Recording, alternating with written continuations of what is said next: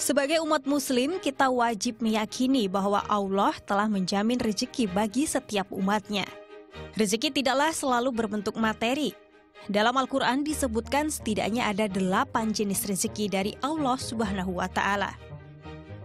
Pertama, rezeki yang telah dijamin. Dalam surat Hud ayat 6, Allah berfirman, "Tidak ada satu makhluk melata pun yang bergerak di atas bumi ini yang tidak dijamin Allah rezekinya."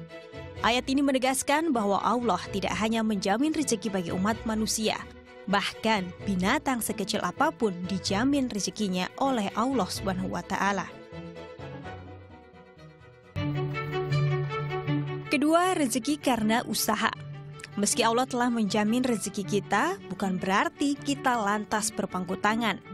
Rezeki harus dijemput dengan berbagai usaha, Hal ini seperti yang tercantum dalam surat An-Najm ayat 39.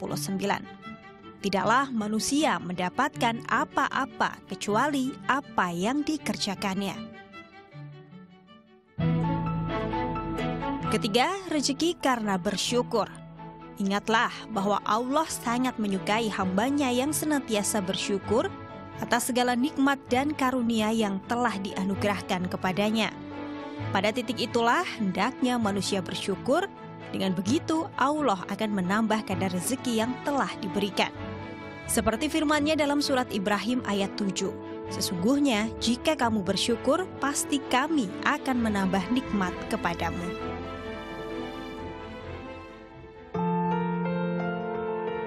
Keempat, rezeki tak terduga.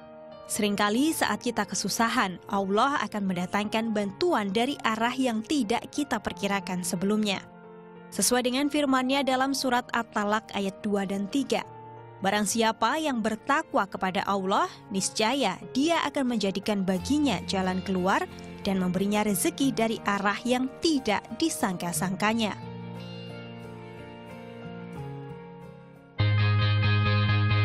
Kelima, rezeki karena istighfar. Dalam surat Nuh ayat 10 dan 11 Allah berfirman, Beristighfarlah kepada Tuhanmu, sesungguhnya dia adalah maha pengampun. Pasti dia akan mengirimkan hujan kepadamu dengan lebat dan memperbanyak harta. Salah satu yang menghambat datangnya rezeki adalah dosa. Dengan memohon ampun, Allah akan membuka pintu rezeki yang telah tertutup sebelumnya. Keenam, rezeki karena menikah.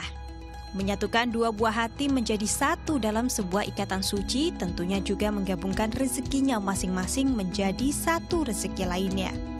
Dan nikahkanlah orang-orang yang masih membujang di antara kamu, dan juga orang-orang yang layak dari hamba sahayamu, baik laki-laki dan perempuan.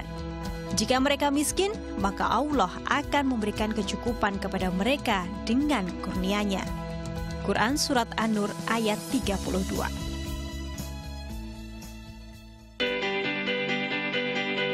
Ketujuh rezeki karena anak.